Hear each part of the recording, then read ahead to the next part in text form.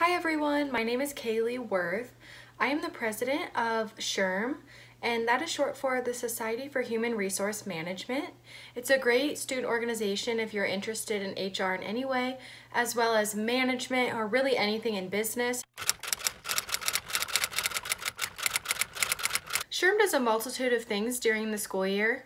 We do fundraising, volunteering, we have different speakers come in and talk about different parts of HR.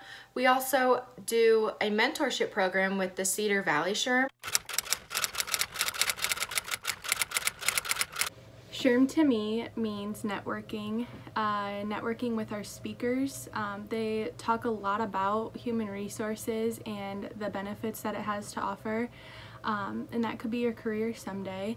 And they talk a lot about internships, which is always a plus this organization um, gave me another opportunity, which was to speak at Disrupt HR. And that was the most amazing opportunity that I've had in college thus far.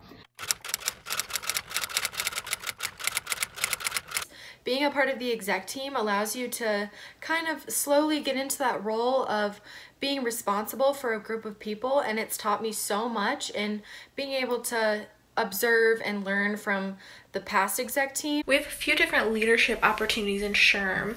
So we have a president, a vice president, a treasurer, a secretary, director of recruitment, and a director of marketing.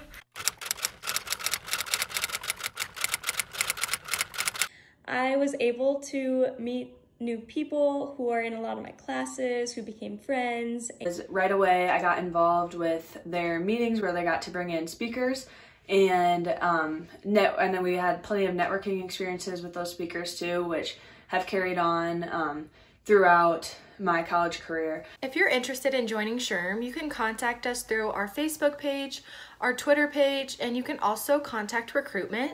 If you have any questions, feel free to reach out.